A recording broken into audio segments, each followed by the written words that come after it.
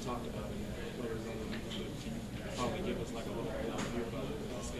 I mean, I mean, no, it was uh, it was our meeting. We just talking about what we need to work on. And, um, you know, we just got to do a better job at it. You know, start from practice, joking around. You know, we just got to be serious. You know, every day from, from here on out. You know, that's what we talked about really. You know, just be serious. You know, uh, it starts tomorrow in practice. Uh, whose idea was it to call this players only meeting, kind of sit down and have a powwow? We all did. What's that? We all did. Yeah. It was, uh, it was something that needed to be said. Uh, I feel like some things came on the table that, that was supposed to be there, and uh, I don't know. We see how it goes.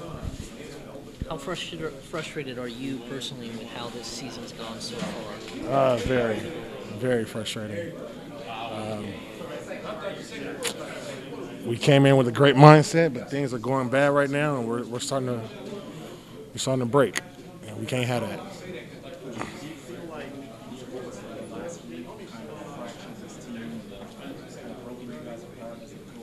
The events of what? The events of the last week, suspensions, Uh, no, I mean, you know, that happens, but uh, I don't think it did. That happens. We just got to adjust. Uh, we should have adjusted and played better, but it's, it's been a rough week. You know, hopefully Sunday will be a new day. Chuck, you're the ultimate team player. You're a guy who this isn't usually a problem around you. How frustrated are you that there's so many young players on this team that aren't getting that message that this is about family? It's very frustrating, man. It's um,